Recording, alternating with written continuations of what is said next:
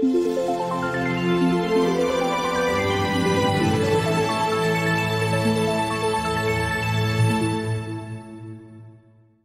加达亚运会，要说退步最快的代表团，肯定就是韩国了。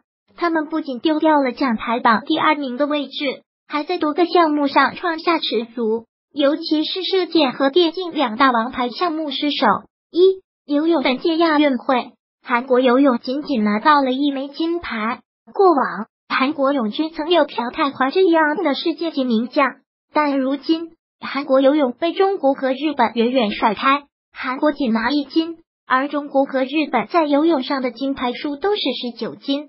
这是韩国金牌总数被日本超越的主要原因。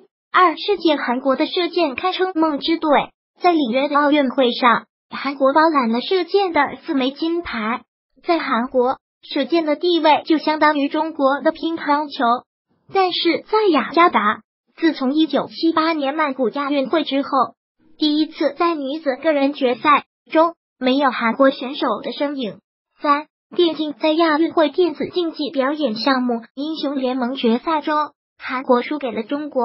事实上，在小组赛中，韩国曾击败了中国。一回国后，韩国电竞队已经表态，没能获得金牌，非常愧疚，所以希望在四年后，韩国电竞能在中国主场复仇，摘得金牌。四乒乓球亚运会上，韩国乒乓球只拿到了一银三铜的成绩。显然，韩国乒乓球队比中国有巨大差距，尤其是韩国乒乓球主力大将郑荣植竟然输给了伊朗选手，爆出大冷门。本届亚运会，印度和伊朗都获得了乒乓球奖牌。五女排，韩国女排的表现同样让人失望，他们是卫冕冠军，目标是杀入决赛，然后和中国女排一较高低。